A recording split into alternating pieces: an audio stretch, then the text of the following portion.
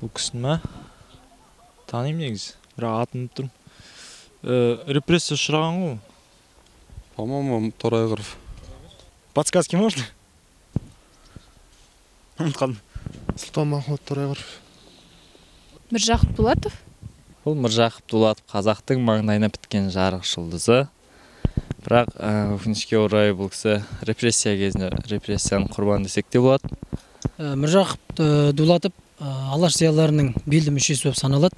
Оның қазақ қоғамына сіңірген еңбегі бірден қоғам бірі қоғам қайраткерлігі болса жаңағы халықтың мұңын жоқтаған болса жалпы әдебиетке сіңірген екі үлкен еңбегі бірі оян қазақ деп шырылдаған біздің адуынды ақынымыз болса тұңғыш романның да жаңағы шаңырағын көтерген міржақып болып саналады.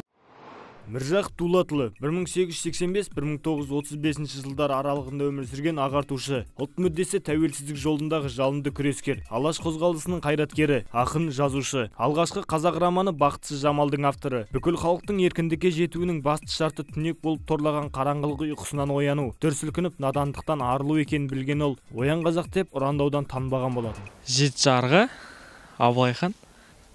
Жеті жарғын қасым хан емес па жеті жарғы тәуке хан тұсында тәуке ханның жеті жарғы тәуке ханның жеті жарғы тәуке хан шығарған қасым хан қасқа жол есім хан ескі жол тәуке ханның жеті жарғысы деп. Жеті жарғы тәуке хан тұсында қабылданған заңдар жинағы. 17 ғасырда қазақ хандығының ыдырау қаупінің тууына байланысты қазақ қоғамының дамуы мықты билік пен бірлікті қамтамасыз ете алатын жаңа заңдар жүйесін қажет етті. Осы ретте тәуке хан ежелден қалыптасқан дәстүрлі әдет ғұрып пен өзінен бұрынғы хандардың тұсында қабылданған заңдарды одан әрі жетілдіру арқылы жаңа заң жүйесін жасауға тырысты. Үш жүздің игі жақсылары мен билері күлтөбенің басында жиналып қабылдаған заңдар жиынтығы тәуке ханның жеті жарғысы деген атауға ие болды.